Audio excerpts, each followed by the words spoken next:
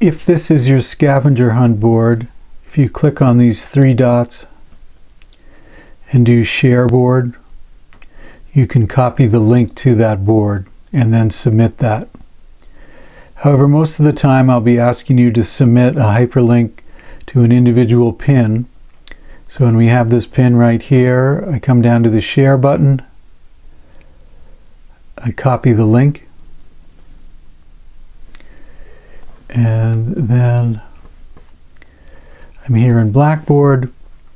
I'm going to click to open this assignment. This is just a test right here. So I want to show you about uh, submitting hyperlinks. So I come down to write submission. And as always, with my toolbar here, I'm going to come over to the three dot menu to open it up. And it's always best if you're putting one link or several links to just uh, put in the word link and then um, if you're just if you do any writing you just want to get all the text in before the um,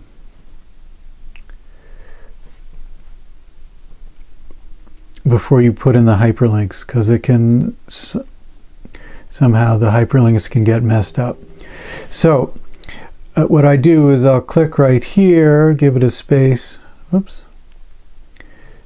click again and paste it in. You can do remove formatting. So there is the uh, link to my pin, but we want to make sure it's a proper hyperlink that opens in a new window. So I'll click on it to activate it.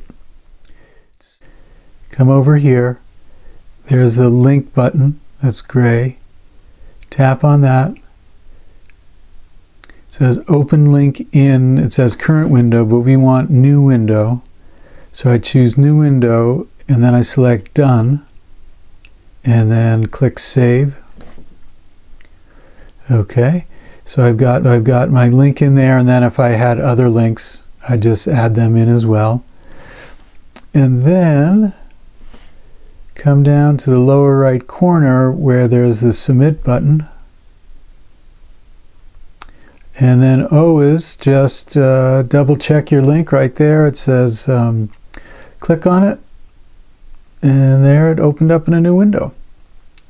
So there's the ins and outs of submitting a hyperlink from your phone.